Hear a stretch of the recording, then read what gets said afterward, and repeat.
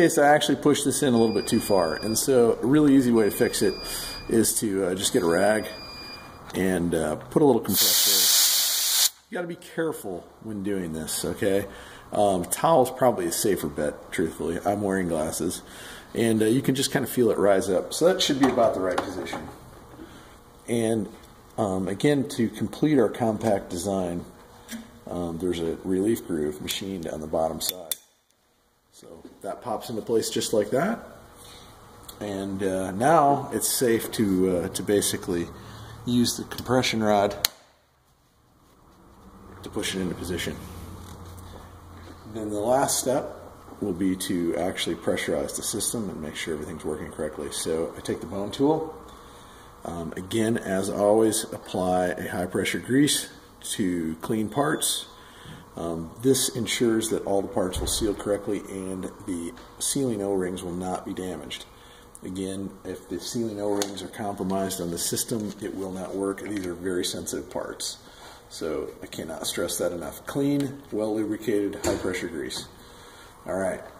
So always the order of operations is to set your high pressure region.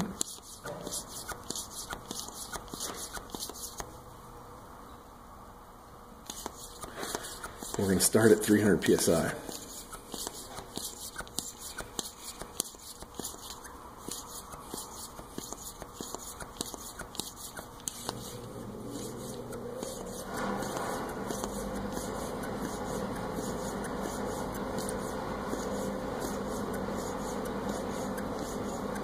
There we go, man. Okay, disconnect our zero loss tool.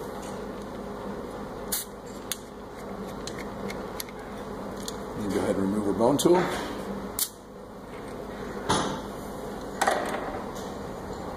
Have our high pressure cap ready to go. Again, high pressure grease.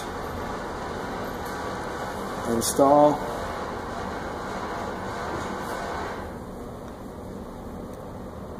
Tighten down. Then we take our bone tool, high pressure grease. We've also got grease in the actual TACR cap.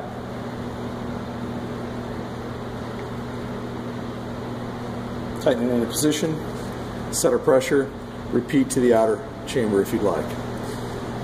There you go. Um, at this point then we'll simply install the cartridge uh, as we normally would, set our oil height, and the TACR system is ready to go.